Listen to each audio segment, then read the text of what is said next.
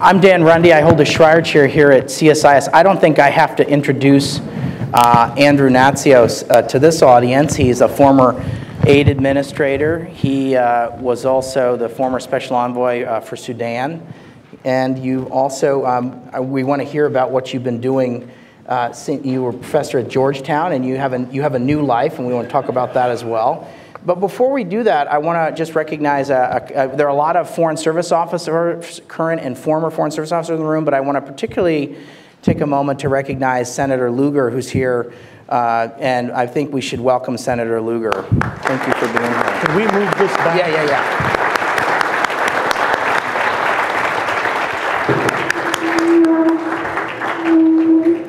Sorry about that.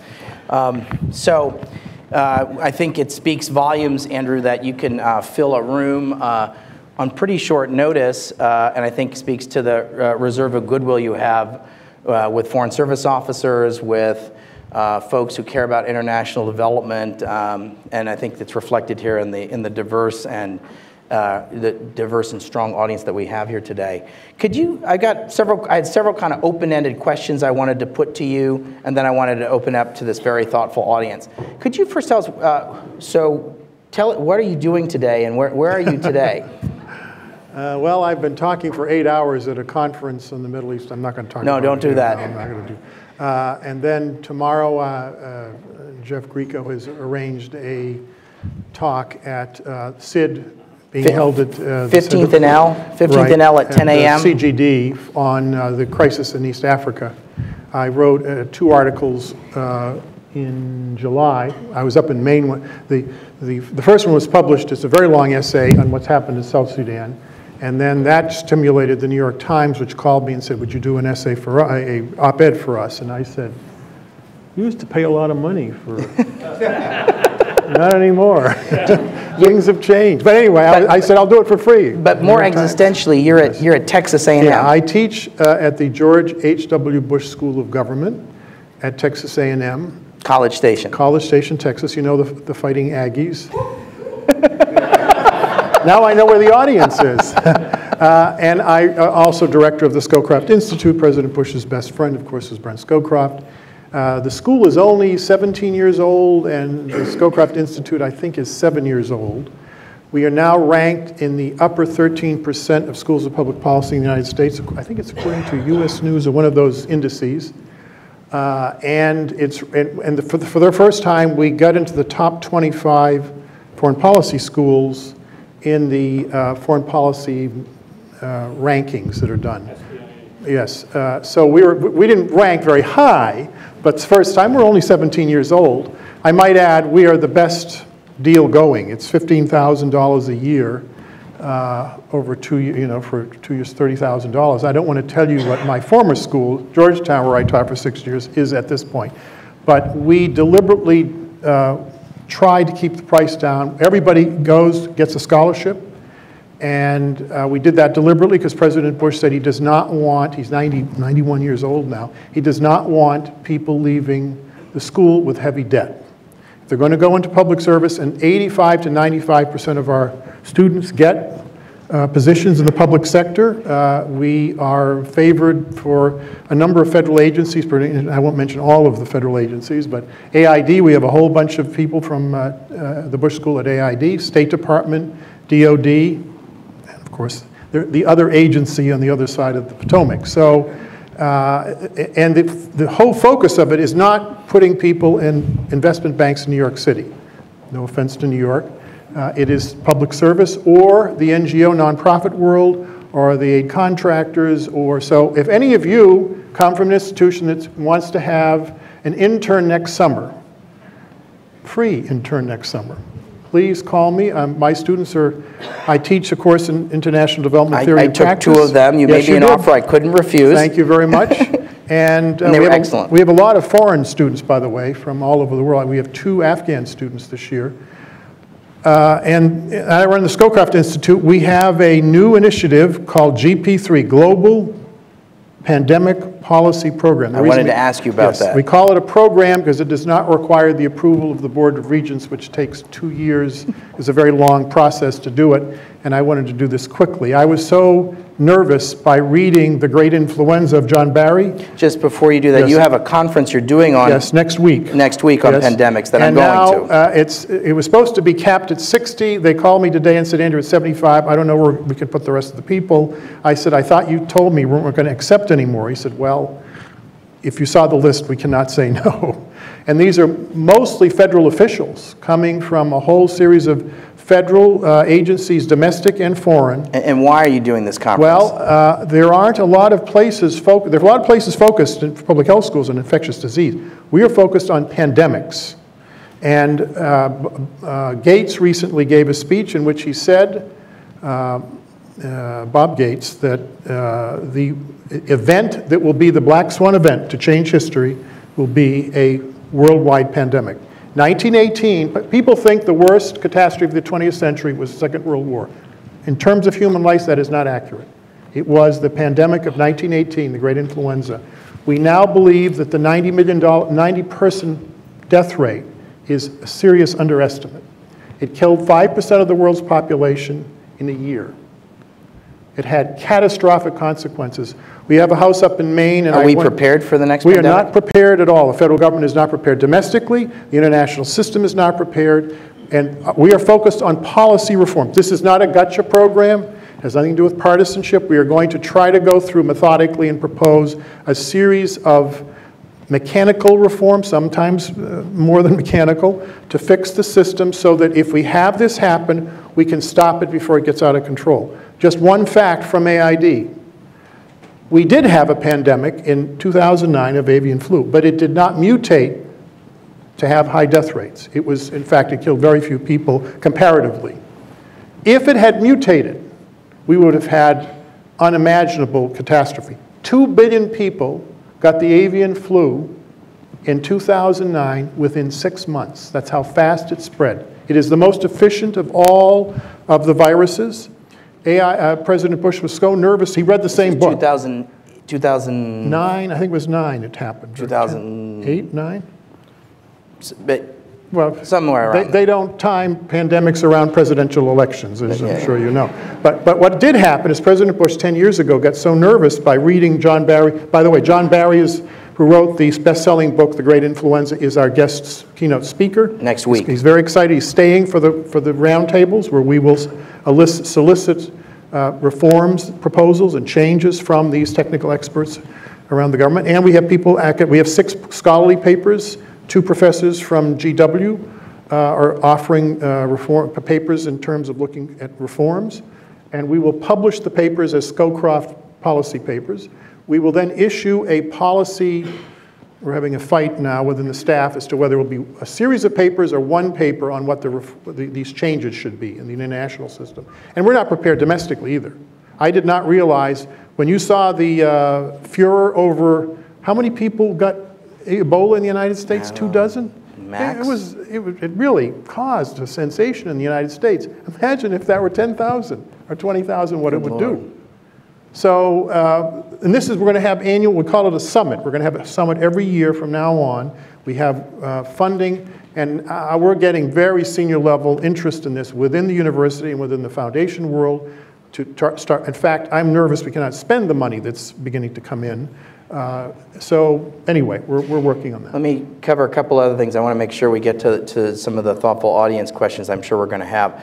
Um, you, when you became aid administrator, you set up a bureau called Economic Growth, Agriculture, and Trade. You were early on agriculture, and obviously with Senator Lugar here, and one of the the, the pillars of Senator Lugar's work at the Lugar Center is on agriculture and food security. CSIS has a strong food security program that was started in 2007. So you wrote an article in 2009 called The Coming Food Coups. This was after the food price spikes, but before some of the political instability that was related to agriculture, changes in, in food prices. Could you talk about agriculture, how important it is to development, and, and how we should be thinking about it?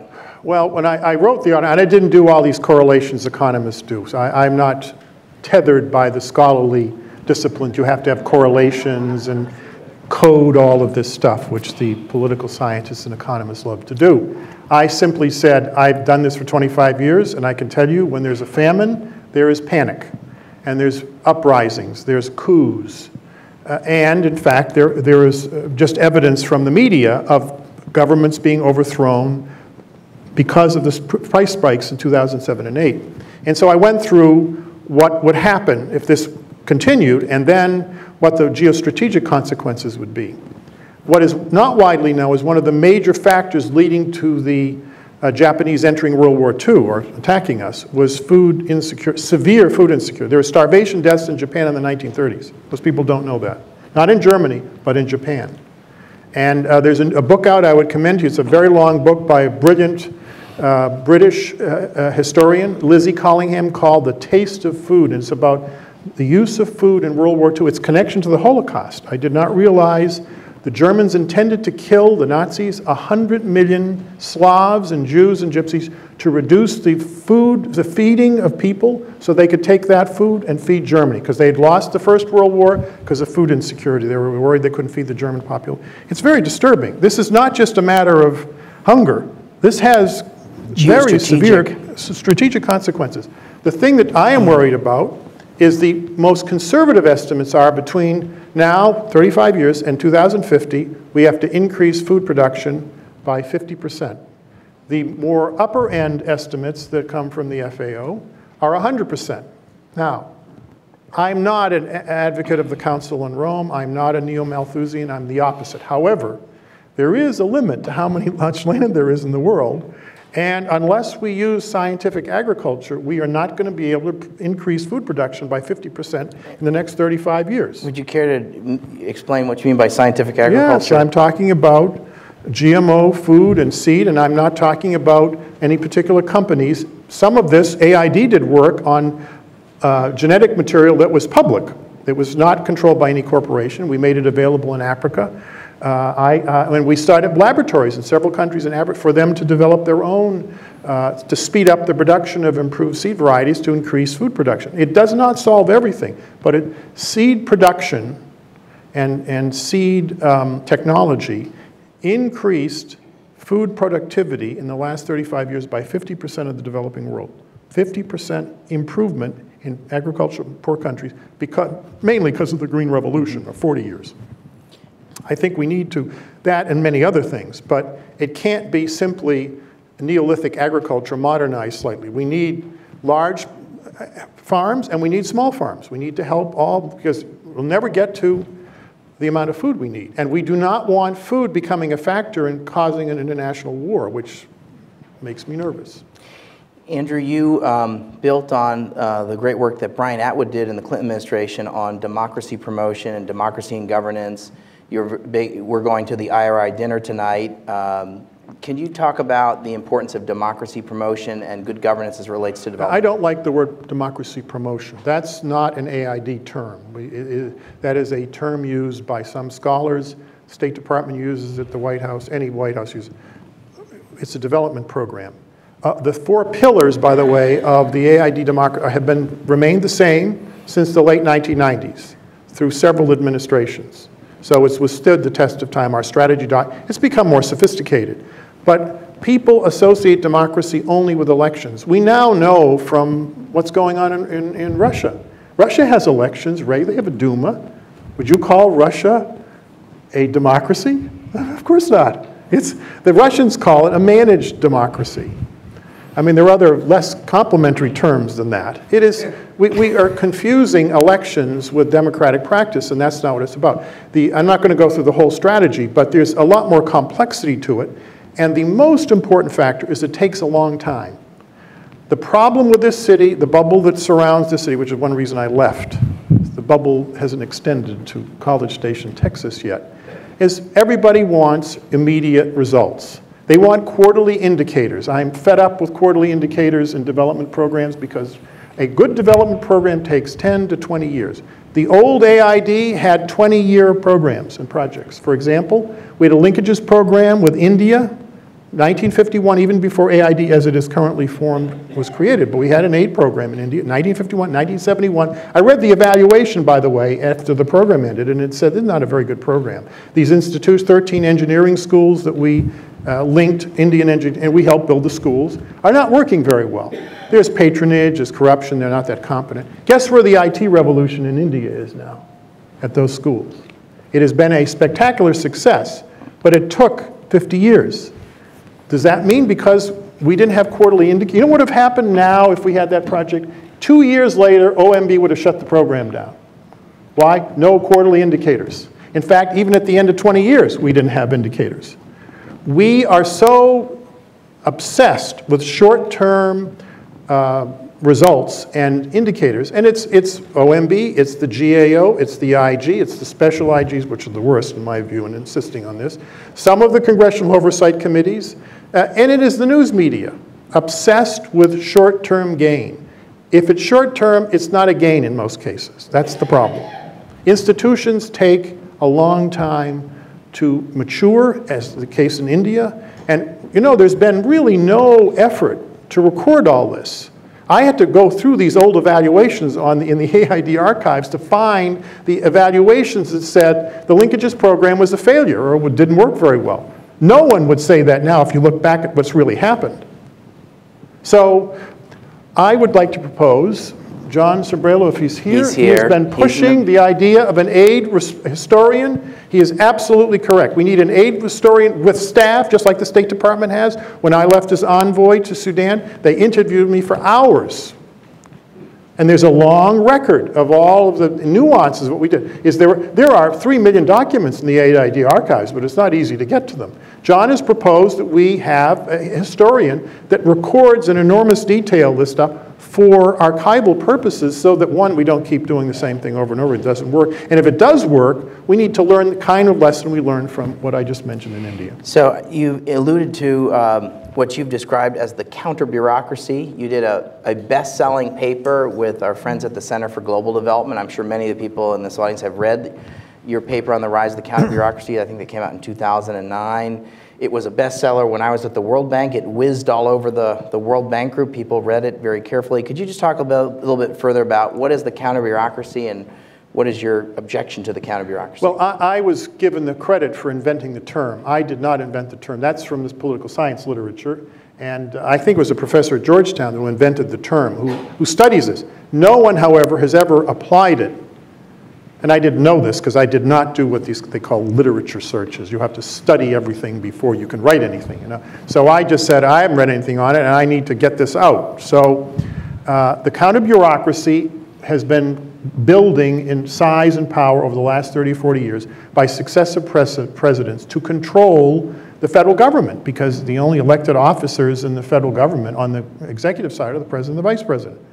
And the fear was that with two people in charge, you can, no, no, president can actually control a, billion, a million people with this massive budget. So I understand why they create. I ran the counter bureaucracy in Massachusetts, and my friend John Simon, who's sitting here, was one of my deputies there. I was Secretary of Administration. I, I don't criticize the need for some executive control over the bureaucracy, but it's out of control. I mean, and the question is, who is regulating the regulators? Who tells the IG, and I don't mean the USAID IG, who I think is more reasonable, without mentioning names, there are other IGs. Who tells them that their press releases have nothing to do with the audits they issue? They say sensationalist things that are not accurate.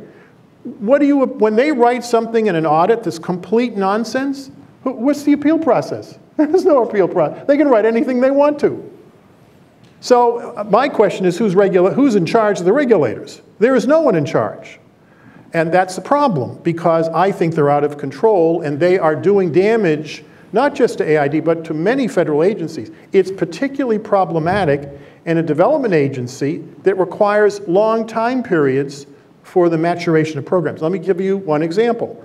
Uh, uh, we commissioned a report through the National Academy of Science and through two universities, um, Vanderbilt and um, Carnegie Mellon, on a retrospective on 20 years of AID uh, democracy and governance programming.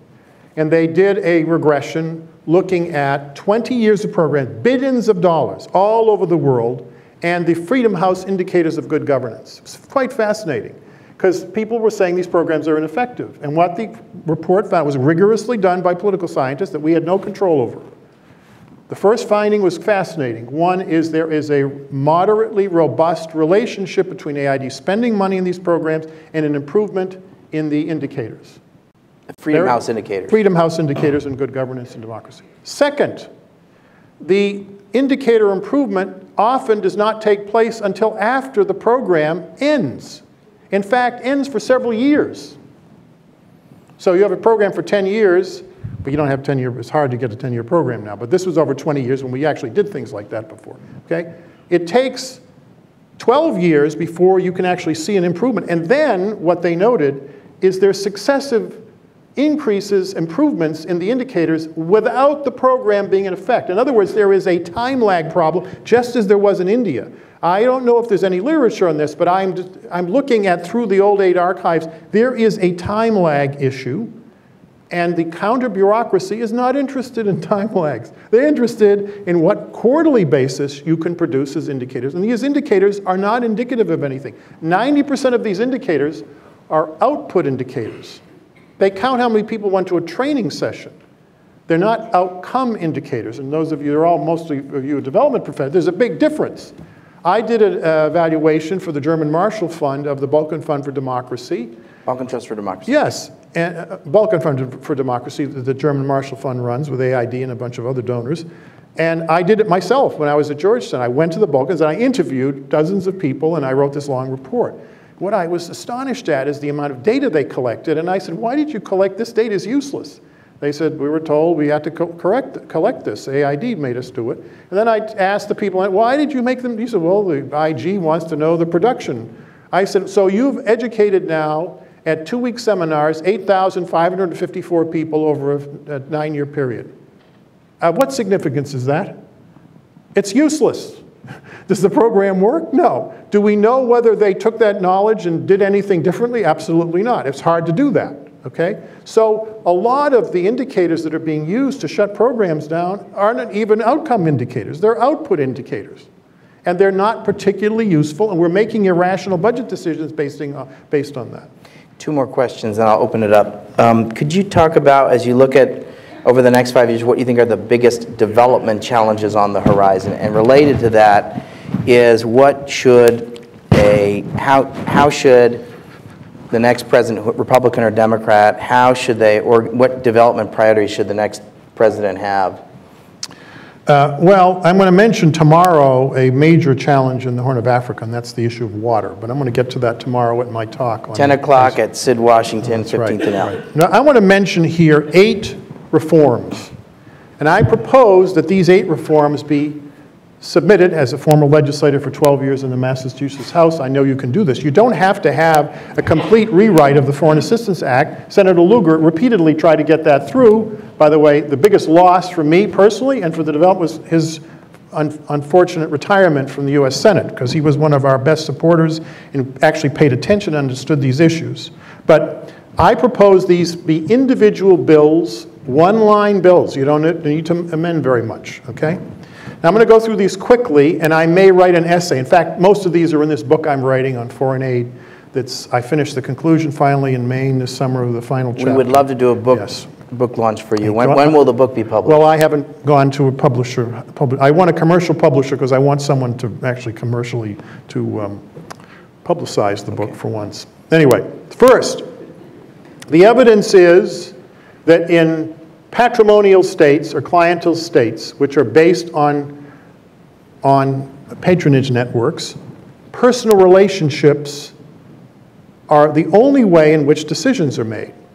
That's how decision, that's Max Weber's famous definition of patrimonial state.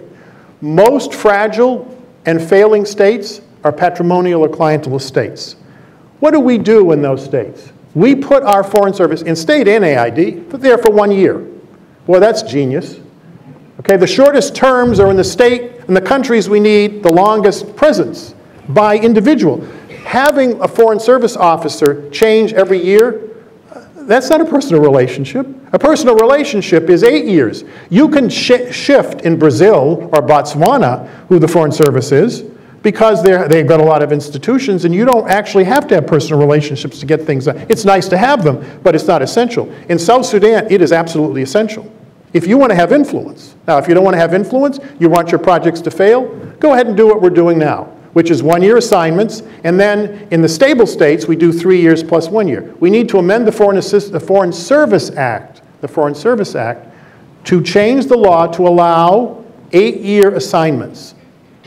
And do we need a special cadre for complicated Yes, we do. states? For a failing and failed state, we need to train a separate cadre of Foreign Service and AID, but I must, might also add in the State Department. People who go in expecting to live fairly rugged lives. Now, those of you who have joined me in some of my trips or who have lived in the develop, and know it's, if you're in a civil war, the electricity goes out, if there's any electricity, you have to be able to accept that. We have a whole cadre of people in OFDA and OTI and Food for Peace that do that. We need development officers who can do that on a large scale, which we don't have now.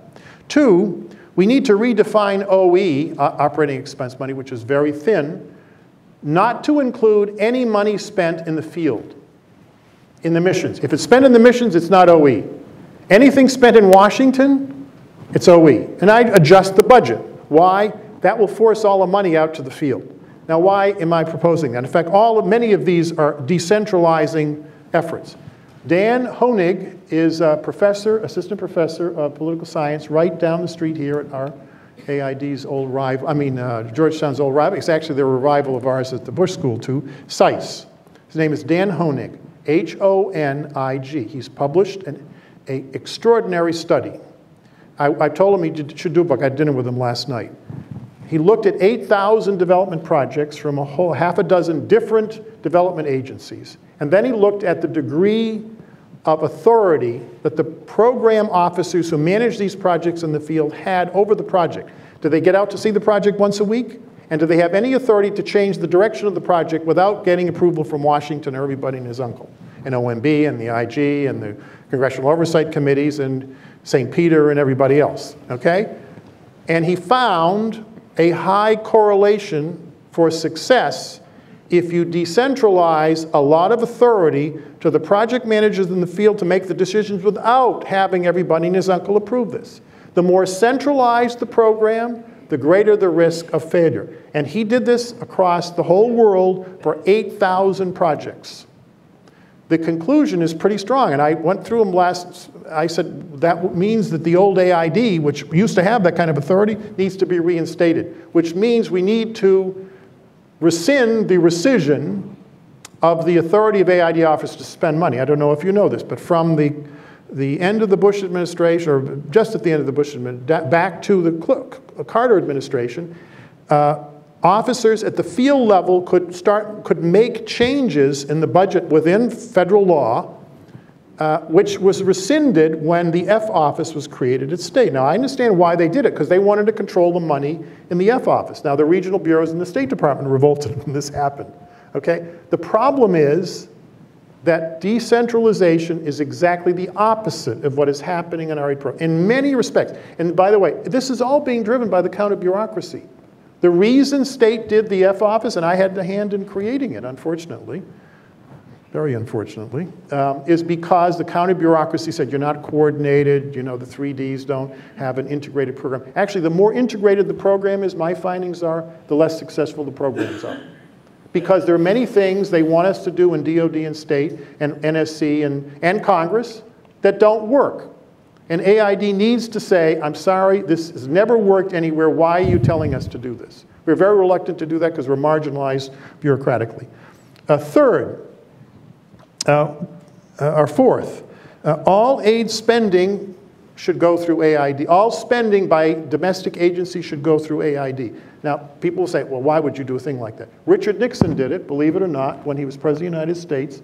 He ordered OMB to say, we need someone some agency to oversee, because OMB can't do it, neither can the State Department, neither who can do it? The development agency. If AID wants the Department of the Interior to do a parks program, that's fine, but AID can shut the program off if it's not working. We used to do that, we stopped doing it. Now everybody does their own thing, and who is auditing, by the way? All the domestic agencies in the field to see if these projects they are running work. No one is auditing them because IGs from domestic agencies do not go into the middle of civil wars or unstable states. The only IG that does that is the AID IG. Maybe state is beginning to do it, and these special IGs they keep appointing. I mentioned the, uh, the aid historian. Let me mention one last thing. In AID, people don't know this. Peter McPherson got it through during the Ethiopian famine. You can, it's called a borrowing authority. It's really not borrowing because we never pay it back. Uh, he, the administrative AID, in the IDA account, the International Disaster, can move up to $50 million in any year out of other AID accounts into the IDA account legally. You have to tell the Congress and all that, but they can do that. And so if we had a surge, we didn't have to go back to Congress for money, we had the borrowing authority. I propose that something like that be established for all mission directors uh, in the missions, that they can move money from existing accounts in their budget into an, and they have to get approval from Washington to do it. But we need more flexibility in these sectoral accounts where we're spending too much money, and other accounts where we're not spending anything, even though everyone in the country wants something done in a particular area. Okay. Why don't we open it up? I suspect you've uh, uh, said some things that I think are going to elicit a, a, a reaction, so I thank you for that. Perfect. Uh, I'll take hands, otherwise I'll, I'll call on folks. I'm going to see if, if, if Senator Lugar, if you wanted to say something, I'm, I'm really, we're really pleased you're here. The microphone is here. We'd, we'd love it if you wanted to, to make a comment. I was very much moved by your thought on the food process, that genetically modified organisms really have to be a part of that situation. Uh, as a, a farmer with corn and soybeans in my 604 acres out in Indiana, I, I, saw from the time that my dad was getting 50 bushels to the acre to the time last year we got 192 on the same land. Amazing. But with different seed, fertilizer, different soil management situations. Uh, and so even if, if this huge change has to occur, 50%, 100%, it can occur. I've seen in my own lifetime on my own farm. Uh, the, difficulty is, uh, as you know, European countries take a very dim view of GMO. They've influenced African countries that are badly in need of food. Uh, so the battle goes on worldwide. Uh, what, what contribution can AID make or any other agency of government uh, to accelerate understanding of this, uh, even in our own country, quite apart from elsewhere?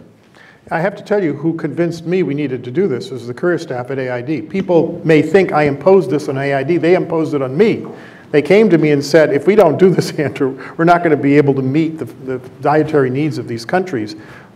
Almost all of our scientists, economists, and uh, uh, hard scientists were strongly in favor of this. Now, a lot of this has been politicized because of the European Union. They've told ministers in Africa outrageous things. If you eat genetically modified food, it will change your DNA.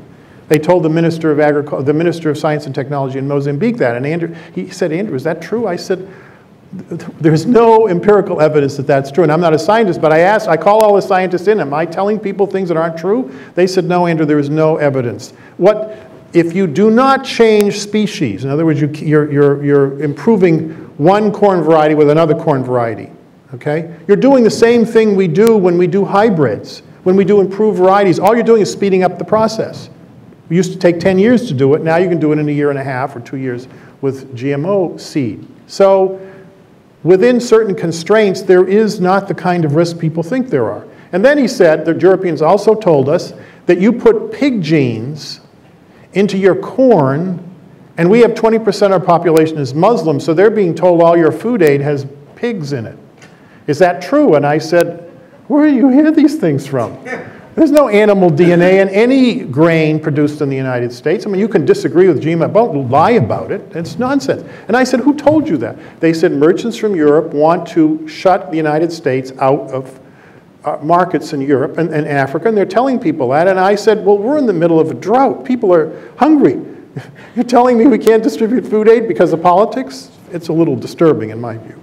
So I completely agree with you, Senator. What we did do is Emmy Simmons, who was the assistant administrator, and she's an uh, economist, uh, a career person. She was our chief agricultural economist in AID. They had meetings of, of the agriculture ministers, and they issued statements endorsing GMO research that would be controlled by Africans for their own purposes. And we supported it in terms of, um, I think Senator Bond had an earmark in for GMO research of $35 million, $32 million or something like that. So we carefully use that money to do more research and build the capacity up in the developing world to do their own research for their own seed varieties. Tony Carroll. Andrew, on, on this stage, but at the old location, just after you had uh, finished as administrator, you talked about the uh, constraints of earmarks and how you really only have a very limited amount of budget to spend. And I'm wondering if the situation in the last uh, 10 or 12 years has changed, and do you have any recommendations on sort of positive legislation that might be able to evade some of those constraints? Let me, let me get a couple. Let me get my friend from Interaction back there. Thank you, Dan. I'm Lindsay Coates from Interaction. Thank you, uh, Andrew Natsios. It's great. The bubble has never consumed you. Even when you were living in the bubble, the bubble has never consumed you. Um, I'm interested in all the remarks you made that, around um, the devolution of power to USAID staff and the field. How do, far does that in, extend, in your mind, to the devolution of power for local countries? And how much authority should should they have an alignment with they should they have around how USAID dollars are spent? In the old USAID, even before, there were three, you know, people think Jack Kennedy created the foreign, Harry Truman created the foreign aid program. And then Eisenhower expanded it, and they merged the agencies. And the, and the, and the agency staff in the early 60s were actually people who ran the Marshall Plan. I don't know if you know that. That's where they came from. So they weren't new, but they were in a new agency. Okay? In the old days, I examined the, and I talked to Fred Schieck was in the old AID, and he, he couldn't believe the stuff that the new aid looked like when he came back to be deputy. And he said, Andrew, this was a negotiating process, the development process. In the old days, we had enormous authority in the field, and the Minister of Finance would come in and say, we want to do this. And he would say, well, we've tried this in every country in, in Latin America. It does not work. Tell me how you're going to do it differently so it will work. And they would negotiate it, and then the, the minister would say, well, we don't want it to fail here, so tell us what didn't work and how can we change it. So they would negotiate. They can't do that now. The FAR, the Federal Acquisition Regulations, it's, it's a straitjacket. So, so, and then you have to create these indicators. You have all the sectoral earmarks. The old days, and still to some degree now, it used to be that the ministers were in AID's office, the cabinet minister, all the time. The African heads of state actually told me, said, Andrew, my top advisor in development is the AID mission director. I call the mission director all the time, even at home, and ask, is this, a good, is this guy corrupt? Should I fire him? Or Because I don't really trust the system to tell me what's really going on. And serious people who are heads of state would use the aid mission director. Now, and they used to go and say, I need help in this area. Can you put, and they used to be able to say, we have enough discretion. If you want a program in this area, you tell me what you want and we'll design it together. They can't do that now. Let me just, maybe just if I can, on on Lindsay's point, I want to make sure that we get to Tony's question, but uh, you were involved with the Paris Declaration in 2005, and there's a whole discussion around country ownership, and I think that has animated a whole lot of, I think, I'm sure Lindsay's had a lot of work related to the issue of country ownership over the last five years, and I think there's been a debate in Washington about what does country ownership mean? Does, and uh, I see my friend Betsy Basson back there who helped uh, us do some work here at CSIS on this question of, okay, should, does country ownership mean we should do straight budget support? Does that, is that equal country ownership?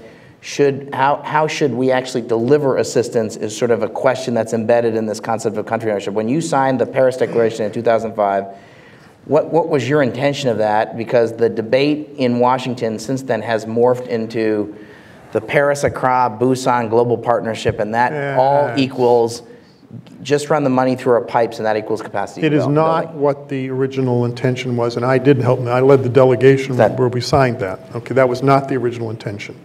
And I have to tell you the reality. The reality is you have ministers coming to AID and, and say privately, never publicly, please do not put this into our treasury. Then we have all these political pressures to hire more people that we don't need, or for patronage purposes for the parliament, do not do it. Uh, We had, I I had a yelling match on this issue with Clare Short, the former minister of, of um, The uh. UK, DFID. This was in 1982, in front of President, uh, uh, Prime Minister. 2002. 2002, what did I say? 2002, in Addis, in front of the Prime Minister of Ethiopia. And the Minister of Finance from Nigeria was sitting there, and I said, do you, do you want us to send all this? And, and he actually said, this is off the record, he's out of office, can't remember his name anyway. He said, actually, we think we would prefer you sending the aid project. We like the aid projects, we have to approve them all, and we help design this in the old days where we had more discretion.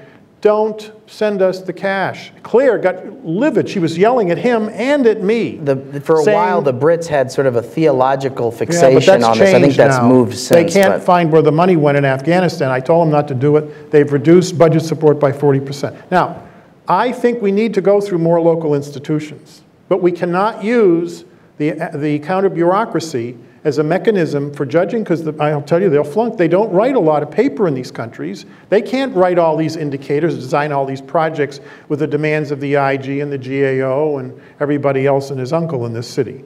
They can't do it. And expecting them to means AID is going to be in trouble, they're going to be in trouble, and we're going to get embarrassed. So, so let me come back to Tony's question about earmarks. Uh, and I think it implies something about the executive branch and congressional relations as opposed, as it relates Yes. to development. We used to have a lot of, dis- a lot more discretionary money. And one of the reasons we did is we double counted. When I wanted to have complete transparency, and I've written this in my book, and I want some aid officer to tell me it's not true, but privately saying, Andrew, you're right. They said, don't do this. Do not install the new financial management system that is completely transparent, where it's very hard to do double counting. You know what I mean by double counting? You count an earmark for microfinance for 275 million. 50 million of it is microfinance for agriculture. It also, hand, we don't have an agriculture earmark. I wish we did when I was aid administrator, but you can count it twice, okay? Now, the congressional staffs knew what we were doing, and they would wink and nod because they knew that they were in a straitjacket. We were in a straitjacket, and they knew they caused it, but they wanted flexibility so we could move money where the country wants it being spent.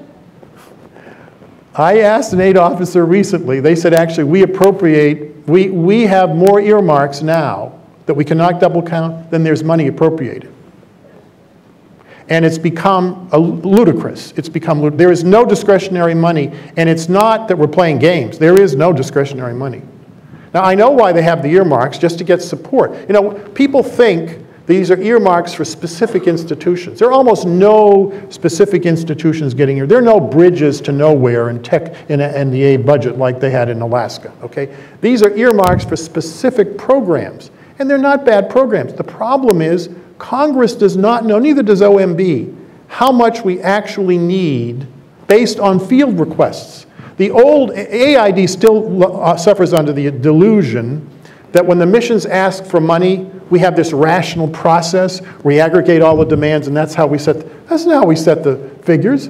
Congress decides how much an OMB and the White House, how much we're going to get. They have nothing to do with what all the requests are from the field. And those field requests are based on what the ministries want. And civil society comes in and says, we need more training in this area. We Put it in the budget, goes to Washington, they dump it in the, I was going to say in the toilet, but I, they dump it in the wastebasket. Why is that? Interest group pressure, media pressure, presidential statements by all presidents. I mean, I understand why they do it. There is a way to fix it with incrementally without abolishing all, because you can't abolish the earmarks. They're attached interest groups, and some of us are in the room, you know. So um, what you could do is this borrowing authority. Tell the mission directors that they can take money out of an earmark legally and move it 10% of their budget every year. Could go, it's already been appropriated and allocated for the country, it can be moved into a new program, has to be approved by Washington, has to be designed locally, has to be approved by the ministers in the government or the prime minister.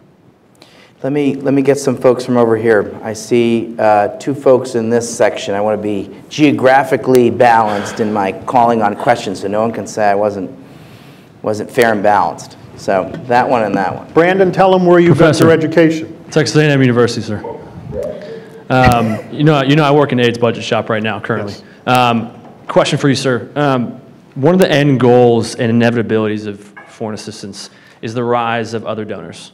And now we no longer have traditional Western donors. We now have Middle Eastern donors, the Japanese, the Chinese, the Indians, that kind of thing. So, in a specific area like Sudan and South Sudan, as you're an expert on, how do you either counter, supplement, or complement different styles of foreign assistance in such a geopolitical, geo- geopolitically sensitive area? And let me just color commentary on that. I think there's a before and after the, the emergence of the Asia Infrastructure Investment Bank. I think certainly in Washington and other European capitals, I think that has been a, an absolute wake-up call that we now have a, what I would describe as a geostrategic competitor for soft power.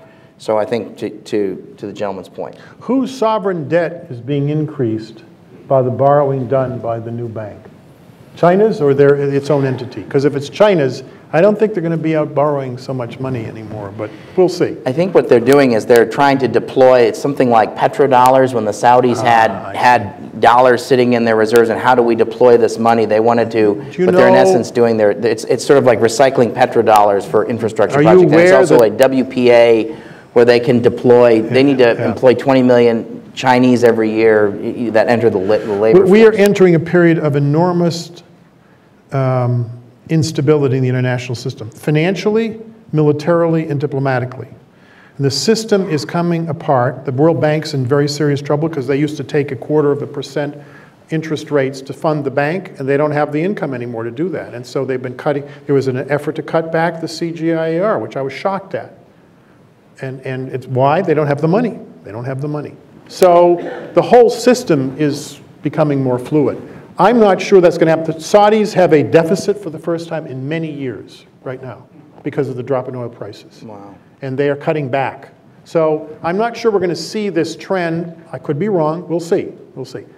Do we need to be aware that there are other things? Now, I just want to say one thing. The Chinese have met a need that we weren't meeting except for the MCC. Now, the first few years of the MCC, I don't know what it is now, 70% of the projects that were being designed by people in the developing world were infrastructure projects.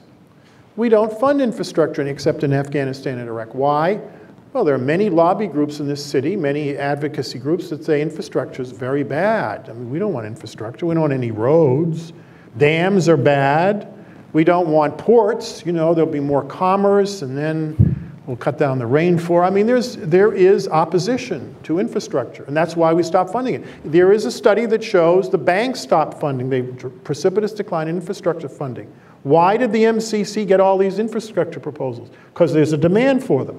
Why are the Chinese now? And why are they being welcomed with open arms? Yes, because they're willing to do it and we're not. We need to re-examine just why we're doing some of the things we're doing.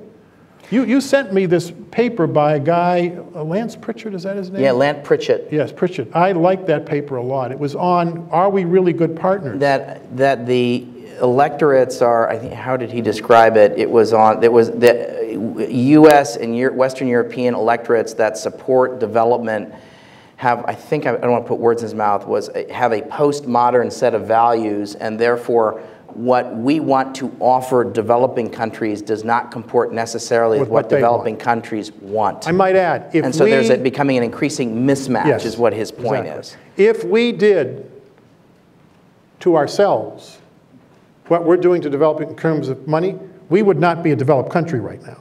We would be back in the Neolithic period. We wouldn't have any roads, there'd be no canals, we wouldn't have infrastructure, there wouldn't have been a lot of economic growth. Uh, I have to tell, tell you, just look at what, how the United States developed. So I, might, I want to make sure this gentleman, the, the glasses in the back there. Thanks, Dan. Uh, Hi, Andrew. Karl Hofmann. How are you, Um, Karl? Good. Nice to see you. I'm the president of PSI, Population Services International. With the exception of USAID, what is the bilateral or multilateral donor agency that you admire most? I hope you're going to say Australia because my friends from the Australian embassy are here.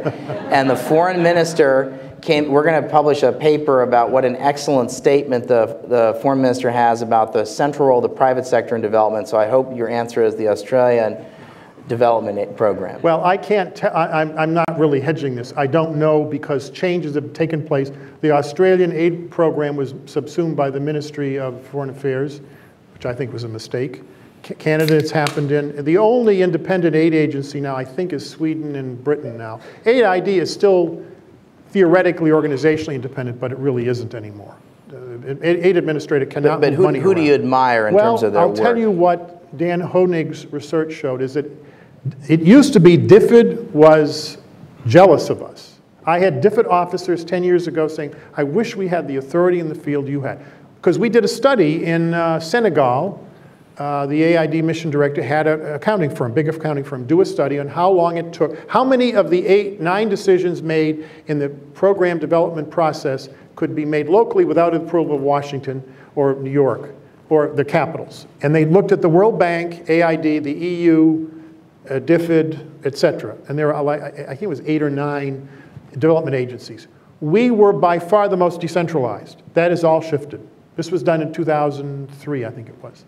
It's, it's shifting dramatically in the opposite direction. So DFID used to be jealous of us because we were so decentralized. Mission directors could actually say to a prime minister, I promise you I will get this done. They can't do that now. And people complain in the contractor community, the NGOs, why are these missions? That's because the rules have changed.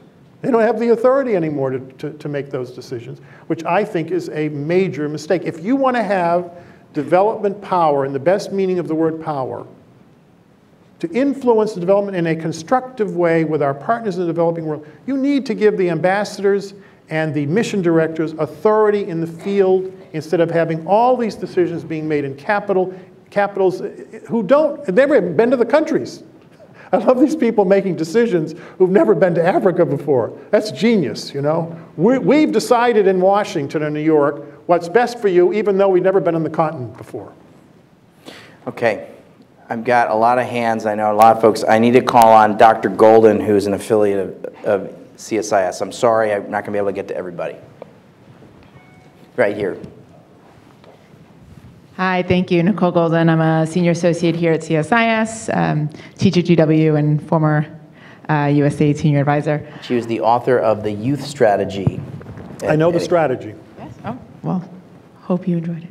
Um, we've been talking for almost an hour, and it's uh, about development, and I'm just almost surprised that we're about six weeks away from the adoption of the formal adoption of the Sustainable Development Goals. And I am curious for your take on whether they matter, um, why or why not. I could make crude remarks, but I'm, Dan said I have to restrain my comments publicly. 17 goals, 169 sub-indicators. You know what it looks like? The Foreign Assistance Act after 40 years. That's what it does. That's what it looks like. Everything is approved because no one can say no to anyone. Can, what about the, how about the MDGs, the first round of the MDGs? Well, the MDGs, look at the MDGs, because I do a whole block of instruction to my students on this. Is economic growth one of the 10, 9 or 10 MD? Now they have them, they have language on it, okay? It's not, it was not part of the MD. The MDGs are essentially social services and human rights. I support you. I'm co-chairman of the Committee on Human Rights in North Korea with Roberta Cohen. I think human rights is extremely important. I think health programs are very important. I think education programs. But are there any other issues? What about building rural roads? What about productivity in agriculture? Are those? How about in, employing the youth bulge? Yeah, and how does that relate to local decision making? Now, you can say, look, we had all these people. We had 10,000 people come, or how many, 30,000 people go to Korea to make all these decisions. I don't want international bodies making decisions for countries. I want the countries making the decisions. Because Tanzania may decide to move in a very different direction than Mozambique. Why should we subject that to some international institution. They should make the decision. They go to see the mission director for AID or EU, negotiate something, and do the project. I, they think it was, they, they did these, these, the MDGs, to raise more money. Well, I have to tell you, it did raise more money, but I don't think it was because of the MDGs. But then, after the 2008 financial decline, guess what happened to foreign aid? It's in steep decline. It's not an Flat. increase. Okay? So are these MDGs being proposed in order to get more money? Because they haven't been doing that. And they're not going to do it. So it's not producing any more revenue for aid, number one. Number two, there is now an obsession with numbers again. Okay, we're, we're spending an enormous amount of time trying to collect more evidence that the MDGs are being complied with. I've been to some of these countries, and the Minister of Finance will, I said, you really have an increase in the literacy rates of this? And they will wink, okay? There's a book out on bad numbers. There's a professor from the University of Toronto, I believe, who actually began to examine the numbers that are being used by the World Bank and the UN and international institutions about whether they're making progress. James, and the numbers are made up, I have to tell you, or they're, they're fixed. I mean, census numbers are made up in the developing world all the, way, all the time. I mean, it's a very political thing. James Q. Wilson says in his book, Bureaucracy, which has nothing to do with AID, this is principally about domestic agencies he's written. I had him as a professor almost 40 years ago, and this book is the classic work on bureaucracy. And James Q. Wilson says in the book, He interviewed officers running domestic programs. He said, they want statistics, we'll give them statistics, even if they're made up. Okay? In United States, I'm not talking about in Ghana, or, or Ghana wouldn't do it as much, but the Congo. Okay? It depends, it, the notion that the, the, all this data we're getting, this mass amount of data, is all carefully collected and analyzed is simply not true. Now, I'm not saying all of it's not true, but a lot of it's not true. And it is distorting things, and it, it, people play games to collect the data because they think they're going to get more money as a result of it. Andrew, thanks for being with us. I really uh, appreciate you coming. Uh, Please join me in thanking Andrew Natsios.